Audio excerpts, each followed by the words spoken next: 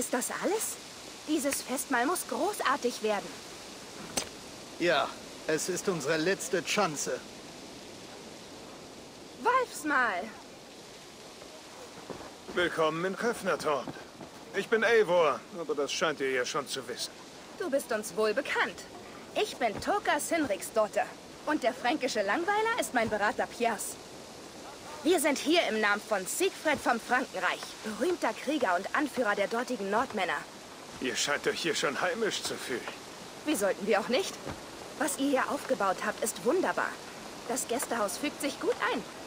Wir haben zudem neue Geschmäcker aus dem Frankenland für eure Tafel mitgebracht. Habt ihr Durst? Dann kostet von unserem Würzwein. Sehr großzügig. Einige würden sagen, zu großzügig. Sieh es als Zeichen des guten Willens von meinem Onkel Siegfried. So von Clan zu Clan.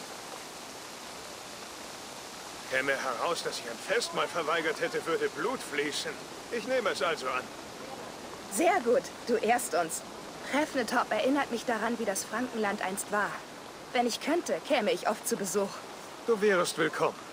Jedoch bringt ihr eure Gaben sicher nicht ohne Grund. Ich warte auf den Gefallen, um den ihr uns bitten werdet.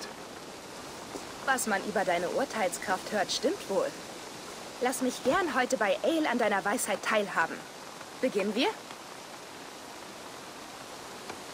Dann schauen wir mal, ob diese fränkischen Leckerbissen etwas taugen. Essen wir!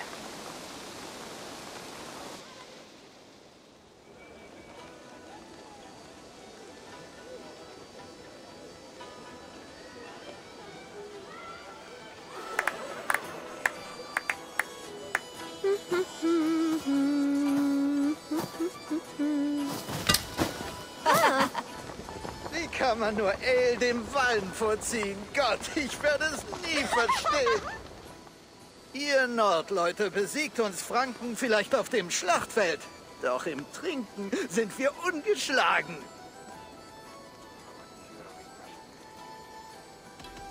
Wenn es mich betrunken macht, trinke ich es gern. Gibt es denn keine Ansprüche mehr? Ich will euch etwas zeigen.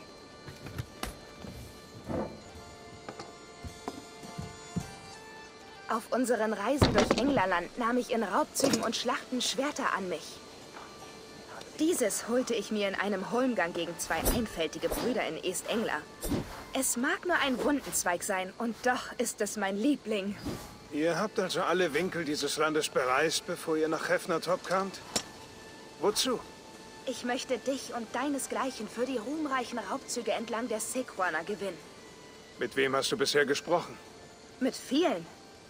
Jarl Heming, Gudrum, sogar Halfdan. Paris selbst soll belagert werden. Und danach werden wir mehr Reichtümer angehäuft haben, als sich irgendwer in Englerland vorzustellen wagt. Lass mich raten, wie viele Jarls sich deinen Raubzügen und Belagerungen anschließen. Keiner. Sie begreifen das Ausmaß der Schätze nicht, die wir erbeuten können. Was willst du wirklich, Toka?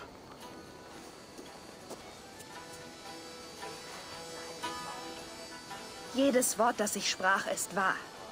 Aber da ist noch etwas anderes. Eine neue Macht erhebt sich im Frankenreich. Eine Macht welcher Art?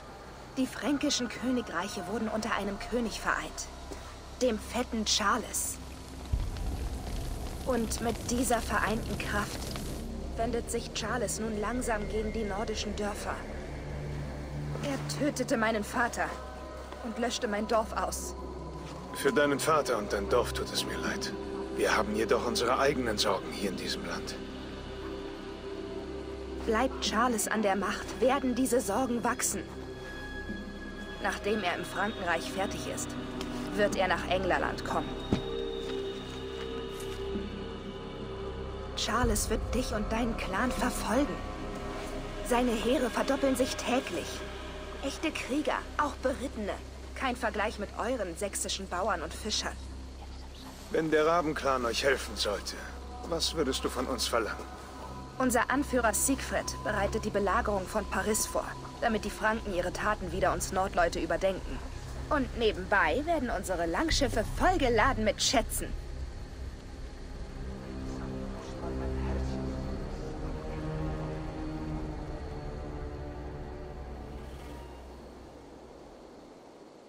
Meine Späher bestätigen die Behauptungen Tokas und ihrer Leute. Doch zuvor sah ich keinen Grund, unseren Clan einzubringen. Siehst du diesen nun? Hat dieser wahnsinnige König Charles es wirklich auf Englerland abgesehen, sollten wir handeln. Dieser Siegfried, von dem sie sprach, versammelt dort Nordleute. Uns ihm anzuschließen, könnte die Gelegenheit sein, sich dem neuen König zu widersetzen. Oder ich könnte diesen Charles selbst treffen und ihn, wenn er nicht verhandeln will, töten. Unser Problem geht über einen König hinaus. Töten wir einen, kommt ein anderer. Sollte er durch einen unserer Nordlinge aus Englerland erschlagen werden, könnte das die Franken noch eher zu uns treiben. Dann werde ich abwägen, wen ich im Frankenreich töte und mit wem ich mich verbünde. Ein ruhiger König könnte Hefnertorp Sicherheit bringen. Lass mich das Schwert sehen. Ich will die Schmiedekunst begutachten. Nein, das ist mein Diebesgut. Na schön. Willst du es mir nicht zeigen, muss ich es mir nehmen. Mach dich bereit, Piers. Ich fordere dich zum Holmgang heraus. Genug. Toka, du kamst hierher, um Hilfe gegen diese neue fränkische Bedrohung zu finden. Der Rabenclan wird dir beistehen. Wirklich? Wirklich? Ich verspreche dir, ihr werdet es nicht bereuen.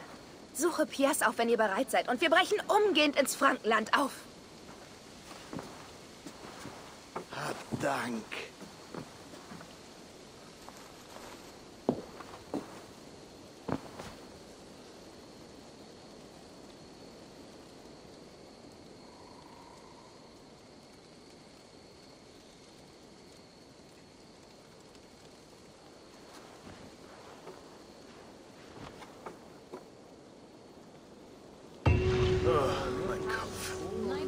Ich nur bei Ale geblieben. Toka sagte, ich solle zu Piers gehen, wenn ich bereit für die Reise ins Frankenland bin.